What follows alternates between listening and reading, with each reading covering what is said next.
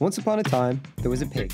No, a man No, a man sized pig, who was evil, and had a boat, a pirate boat, which he sailed as a pirate, until it caught fire. and he had to move home, To his study, where he had a shave, and a smile, got a job and a family. of Yetis.